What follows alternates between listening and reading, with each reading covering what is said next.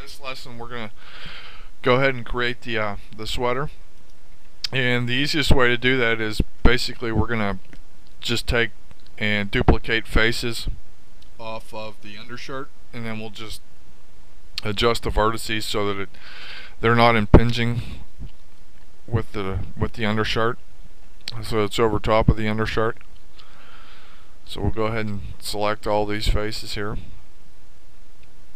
this can get a little bit tricky.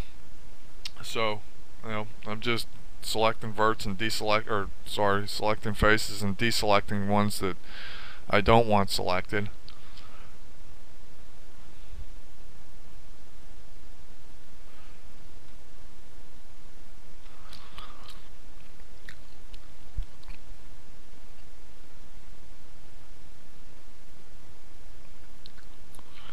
and I'm still looking at the concept on my other monitor while I go ahead and do this.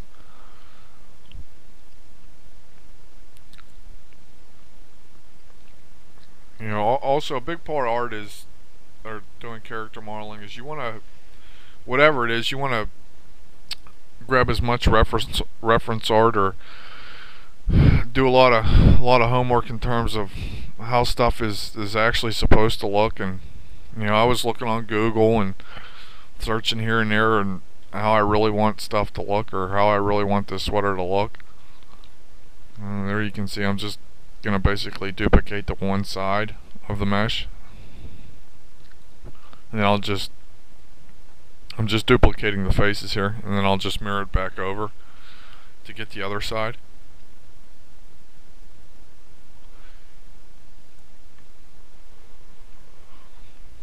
As you can see I just duplicated it with the edit mesh duplicate. And there's the one side of our vest and so I'll just go ahead and start adjusting vertices so that it's on top of our mesh. But I need to go ahead and add these to a layer so I you know don't select them. There's our reference layer for our under mesh. And just go ahead and start selecting verts and, and basically pulling them out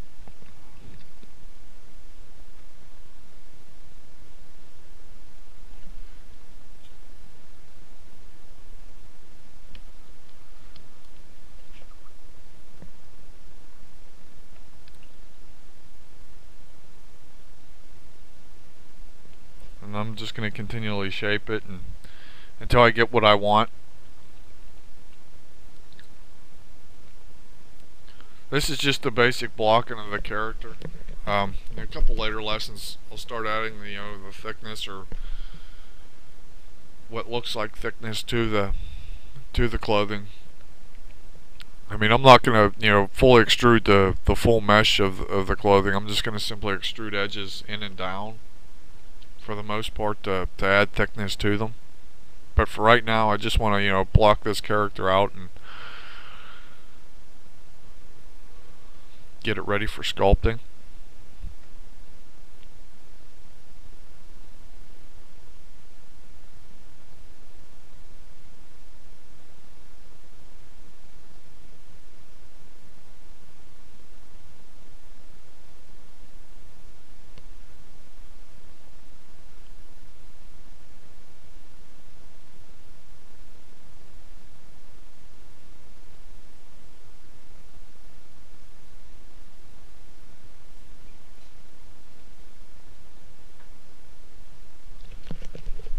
As you can see I mirrored there but the vertices weren't in the right positions to, to mirror properly so I just you know reselected them and scaled them so that they're straight and now I can go ahead and mirror it and it'll come out fine.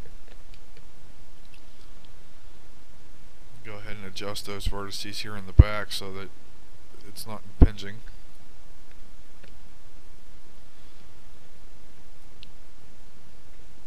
I'm trying to keep it on top as close as I can. I mean, I don't want to make it, you know, an extreme pull out. I just want to make it sit on top as, as close as I can.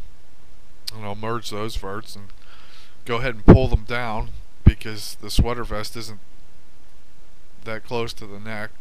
And I want a little bit of the collar from the undershirt to to be pulled out. So I'm adding an extra edge loop there because I don't want, you know, a triangle mesh like that. So I'm just going to go ahead and split the face straight down on the front.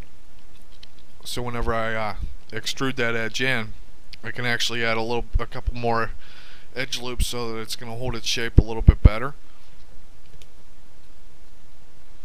So you see I cut that triangle face off and I'm just going to go ahead and extrude that face out. That's a big thing in character art is you want to try to keep uh, as close to quads as possible. Um, you can get away with triangles in some places, especially when you're doing character art, or I'm sorry, um, character art for games. Even though the uh, the meshes usually get triangulated in, in the game engine itself, but you want to try to stay as close to quads as possible. It'll actually make it easier for, for the riggers to go ahead and rig the model. Um, the def deformations will be better than it would be, say, if you had a, triang a triangled mesh, or a mesh with a lot of triangles on it.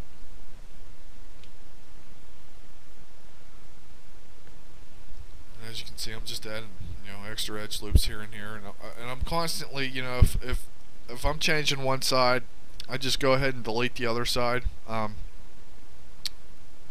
and I have to add another a split here. You know, sometimes I do that. I mean, you know, I think to myself, well, hey, I got to change this side, or I want to change this side a little bit more after I mirror it, and, that, and that's okay. I mean, it, it's all, it's all process. as you can see, I split the split the face there and we're all quads again and I'll go ahead and re re-mirror the geometry. And I mean basically there's our sweater